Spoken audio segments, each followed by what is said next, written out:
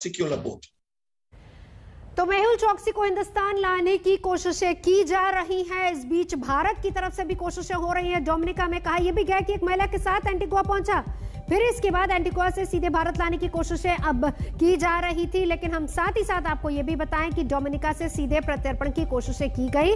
अगवा किया गया, ऐसा मेहुल चौकसी का वकील लगातार कह रहा है 2017 में एंटीगुआ की नागरिका मेहुल चौकसी ने ली थी और इसके बाद एक महिला के साथ एंटीगुआ पहुँचा। ये सारी बातें सामने आई इस बीच कोशिश है हिंदुस्तान की तरफ़ से, उसको हिंदुस्तान लाने की। आगे बढ़ेंगे दिल्ली में कोरोना के हालात की तस्वीर भी आपको दिखाएँगे, क्योंकि लगातार केसेस घट रहे हैं और 24 घंटे में नए बीमार घटकर हज़ार से कम रह गए हैं और आज से दिल्ली में अनलॉक की प्रक्रिया शुरू हो चुकी है। लेकिन वैक्सीनेशन को लेकर विवाद लगातार जारी है।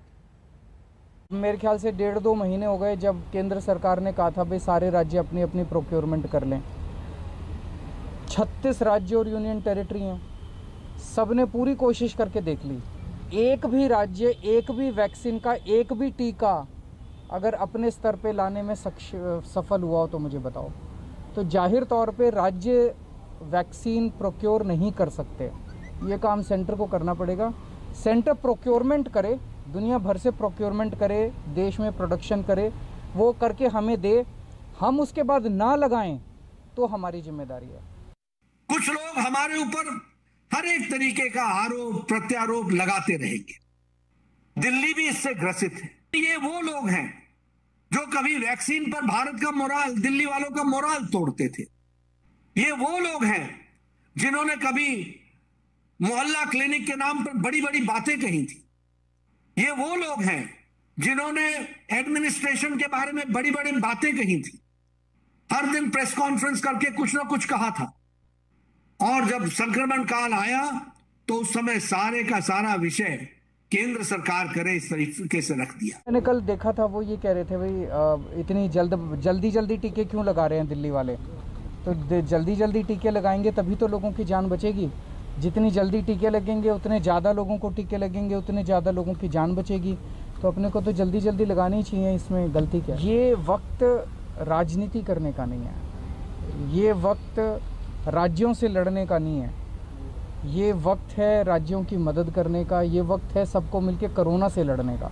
29 मई 2021 को ग्लोबल टेंडर फ्लोट किया जाएगा, पर निर्णय हुआ है। आज से दो हफ़्ते पहले, तीन हफ़्ते पहले कोई टेंडरिंग प्रोसेस नहीं किया। अप्रैल के महीने में कुछ काम नहीं किया। इससे पूर्व मार्च, अप्रैल सब निकाल दिया, कुछ काम नहीं किया और चिट्ठी चिट्ठी खेल रहे थे ये लोग, उसके लिए इनको शर्म आनी चाहिए। झूठ बोलने की जो राजनीति है और जितना पैसा ये लोग इधर उधर अखबार में, बाकी मंचों पे खर्चते हैं, झूठ को बढ़ाने के लिए, वो अगर सही काम पे लगा दें तो थोड़ा दिल्ली की जनता का भला हो जाए। इस बीच आंकड़ों में थोड़ी कमी देखी जा रही है। 24 घंटे की बात करें तो देखिए कहाँ तक पहुँचे हैं आंकड़े। एक लाख बावन हज़ार सात सौ चौतीस मरीज़। और 24 घंटे की ही अगर बात करें तो 3128 लोगों ने अपनी जान भी गंवाई है। कोरोना की वजह से ठीक होने वालों का आंकड़ा बढ़ा ये अच्छी बात है ये फिगर थोड़ा सुकून देने वाली है। दो लाख अड़तीस हज़ार बाईस लोग ठीक भी हुए हैं। चौबीस घंटे में मामले और इस बीच लगातार हम आपको बता रहे हैं कि किस तरीके से उत्तर प्रदेश में मामले कितने हैं। एक हज़ार नौ सौ आठ केस चौबीस घंटे में आए। ठीक होने वालों का आंकड़ा यहाँ भी ज़्यादा ये भी राहत भरी खबर है। छह हज़ार सात सौ तेरह लोग ठीक हुए हैं। साथ ही साथ एक सौ चालीस लोगों ने अपनी जान गंवाई। ये उत्तर प्रदेश का आंकड़ा हम आपको दिखा रहे थे। और इसी तरीके से जरा दिल्ली का हाल भी देख लीजिए। हज़ार से कम मामले, ये भी सुकून की बात है। पिछले चौबीस घंटे की अगर बात करें तो नौ सौ छियालीस केस और इसके साथ ही साथ ठीक होने वाले यहाँ भी डबल यानी कि 1803 मामले 78 लोगों ने अपनी जान गंवाई है। कोरोना से पिछले 24 घंटे की बात करें तो अब दो महानगरों को भी कंपेयर कर लीजिए, जिसमें मुंबई है और दिल्ली है। दोनों को कंपेयर किया जाए, मुंबई में मामले पिछले 24 घंटे में एक हज़ार छियासठ, दिल्ली में नौ सौ छियालीस। मौत का आंकड़ा मुंबई में बाईस, दिल्ली में अठहत्तर। तो ये पिछले 24 घंटे की तस्वीर हम आपको दिखा रहे हैं, कोरोना से किस कदर मामले तो लगातार कम हो रहे हैं, ठीक होने वाले की संख्या बढ़ती जा रही है। ये दोनों अच्छी खबरें हैं, लेकिन जो मौत की फिगर और आंकड़ा है, वो ज़रूर चिंता का विषय है। और ऐसे में सबसे बड़ी बात, वैक्सीनेशन। वो रफ्तार कहाँ तक और किस तरीके से आगे बढ़ रही है, उस पर ज़ोर देना होगा, क्योंकि जानकार ये भी कह रहे हैं कि तीसरी लहर के लिए हिंदुस्तान को तैयार रहना चाहिए। लेकिन इसके साथ ही साथ अगर उसको कंट्रोल करना है तो जहाँ एक तरफ़ स्वास्थ्य सुविधाओं को दुरुस्त करना पड़ेगा, वहीं दूसरी तरफ़ देश को वैक्सीनेट भी करना पड़ेगा जल्द से जल्द। हालाँकि इसको लेकर सियासत अलग से गरमाई हुई है।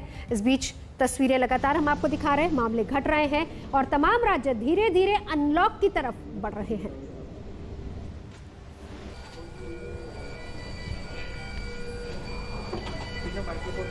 हाँ हाँ। भैया